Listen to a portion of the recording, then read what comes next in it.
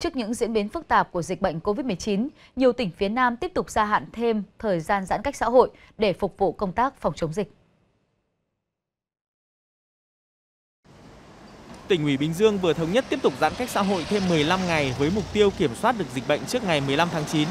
Riêng một số vùng đỏ như thành phố Thuận An, Dĩ An và thị xã Tân Uyên đang khóa chặt đông cứng sẽ thực hiện chỉ thị 16 tăng cường, người dân không ra khỏi nhà kể cả đi chợ, lương thực sẽ được phát miễn phí hoặc đi chợ hộ. Ngày hôm nay 30 tháng 8, Ủy ban nhân dân tỉnh Tiền Giang cũng quyết định tiếp tục áp dụng biện pháp giãn cách xã hội theo chỉ thị 16 đối với thành phố Mỹ Tho, huyện Chợ Gạo, Châu Thành, Cái Bè, Gò Công Đông, thị xã Cai Lậy và Gò Công từ ngày 31 tháng 8 đến ngày 15 tháng 9. Các huyện còn lại gồm Cai Lậy, Gò Công Tây, Tân Phước và Tân Phú Đông giãn cách xã hội theo chỉ thị 15. Ủy ban nhân dân tỉnh Tây Ninh cũng tiếp tục áp dụng biện pháp giãn cách xã hội trên địa bàn toàn tỉnh theo chỉ thị 16 thêm 14 ngày từ 0 giờ ngày 30 tháng 8. Tùy theo diễn biến tình hình dịch bệnh, tỉnh sẽ xem xét cân nhắc điều chỉnh thời gian giãn cách xã hội cho phù hợp.